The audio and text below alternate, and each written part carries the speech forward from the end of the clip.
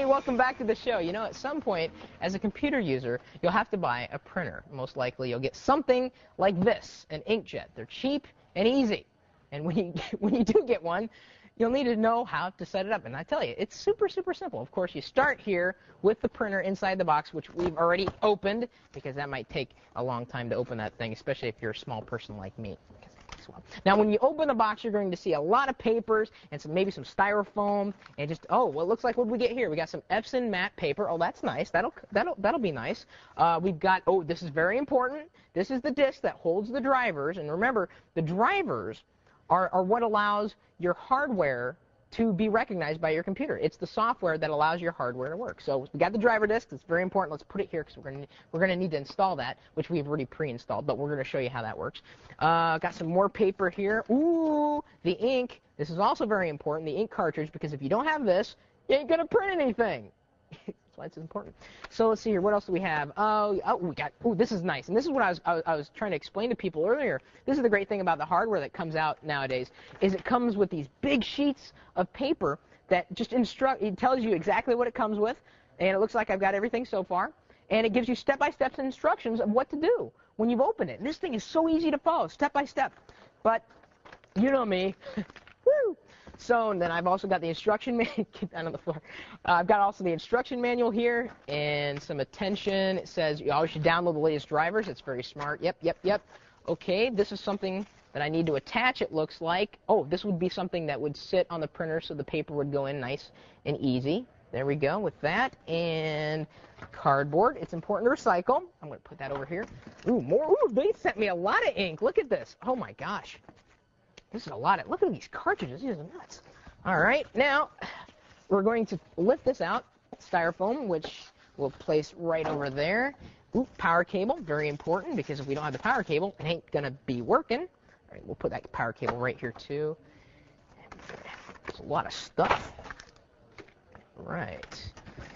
Okay, got plastic sheet around the printer, which weighs about as much as I do. And now, let's see if there's anything. Wow, they must have gone overboard with the cartridges, either that or, or, or I don't know. If, I don't think that it comes with this many cartridges, folks, but that's okay. Just I think it comes with one. We just put a lot in here. Now I'm gonna set this to the side here. All right. All right, then moving right along. All right, look at that. Hasn't been touched. Okay, so now, actually, if we can come around here, I'm gonna act. Let me turn around for you. Let me show you. This one, this printer can be connected. It looks like it's got a connection for this is your this is your parallel cable connection, and a parallel cable looks something like this, where this is the, this is the end that would be going into the printer here on the side. If I wanted to use a parallel connection, but right beneath it, you see this little hole right here. This is a USB. This is a USB connection. So I'm actually going to use a USB cable, if I'm not mistaken, to connect these two uh, these well the printer to the to the computer. So now, uh, boy. Now I've got to get the tape off. See, it just takes a little bit to get the plastic off. And you know, it, it, it's it's important to note again. I mean, I threw the instructions back behind me, but you probably don't want to do that if you've never set up a printer before. Even though it is pretty simple, because this this thing, I mean, you just plug it, you, you plug it in, and pretty much after you've installed the drivers, you'll be ready to go. Kind of squeaky. There we go. Gosh, it's like Christmas morning, I swear. Alrighty then. It looks like we also have in here, when I open it up, get a plastic away here. Gotta make sure you get all everything off or else it may not work right. A lot of tape. Looks like I've got the printer cartridge here it's sitting safe and sound in there. This is where I'm going to be putting the printer cartridge in here. That's where the printer cartridge would sit when I get the scissors. And let's see here. I'm looking around for the USB cable just to make sure that I don't didn't miss anything and don't see the USB cable. So, since I don't have a USB cable, I'm going to connect it using the parallel cable. It's really easy. Really easy to do. Move around here, try to get it out of knots.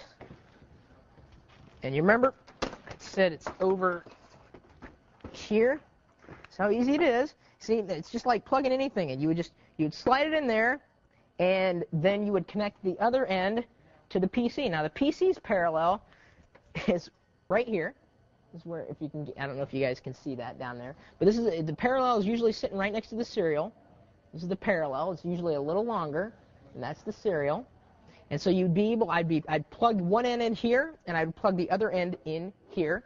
Then of course, then we got, we would have one more cable, and this cable we would plug in right here, because that's where the power cable goes. We'd plug that in there, and we'd plug the other end down here into the UPS. And of course, the, you could you, could plug it directly into the wall, or you could use a UPS, uh, uh, uh, an uninterruptible power supply. So we use UPSs again so that we in case of power surges that we would protect this equipment because this probably cost maybe a hundred bucks or more. You never know. But once we'd have this set up, all we have to do is run the software. And again, using the driver disk, you would install the software, and some, it may even come with bonus software, and be able to run a, a test page when it's all said and done to make sure it's running fine. But it's so super simple to do. There's hardly anything you have to worry about.